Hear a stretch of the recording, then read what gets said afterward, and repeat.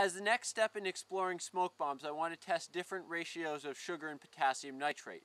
I will be testing ratios between equal parts and 75% potassium nitrate in increments of 5%, or 1 gram in the 20 gram batches I am using. Based on my calculations, the stoichiometric ratio should be 74% potassium nitrate and 26% sugar. I'm choosing not to test this ratio exactly so I can keep with my pattern. I chose the ratios to test as they bracket the 60 to 65% potassium nitrate I learned were common ratios to use. Depending on the results of this test, I may choose to do further targeted testing. Though I know I should do multiple tests of each ratio, making them take so long I am only doing a single sample of each in this test.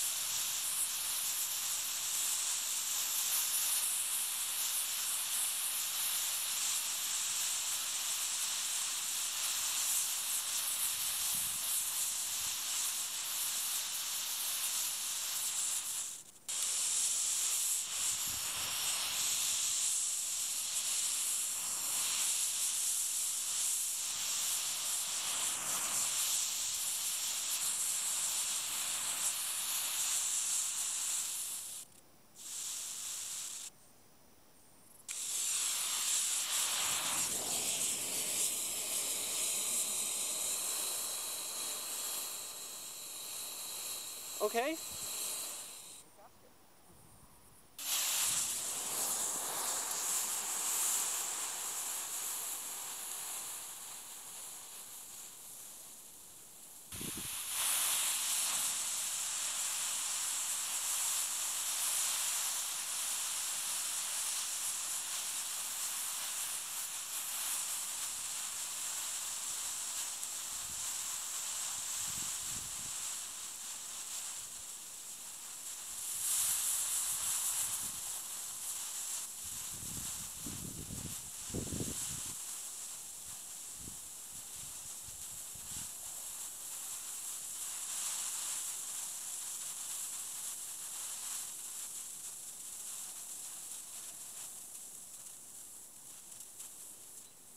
An additional step I took to speed up the production process was not cleaning the pot and spoons between tests.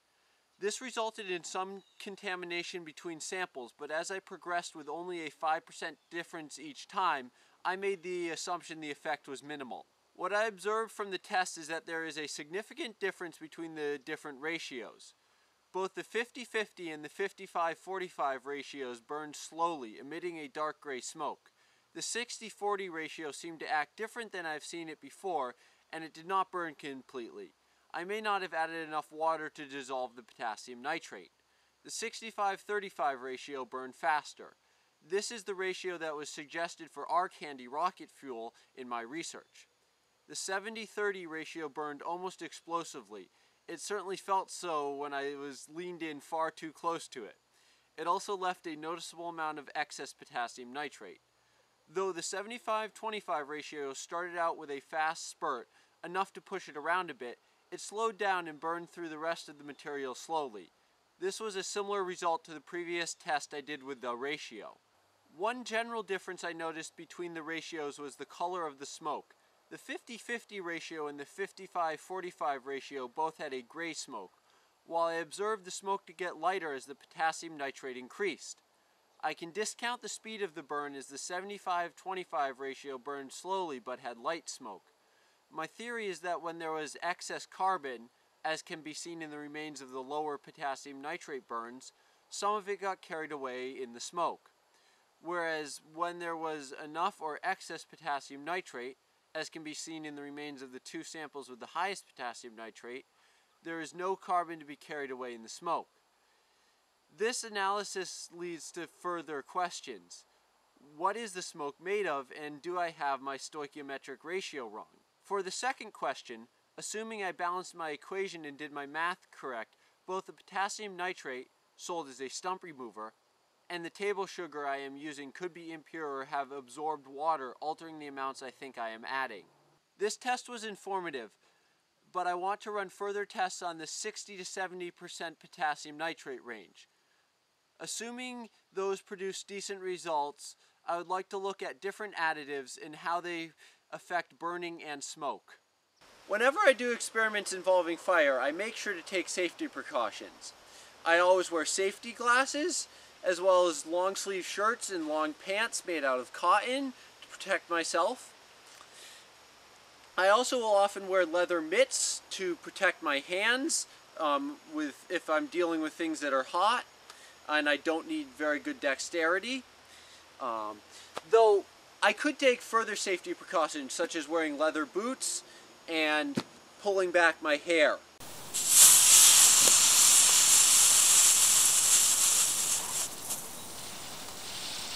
And that was mostly bits from the earlier one, so lower concentrations of potassium nitrate.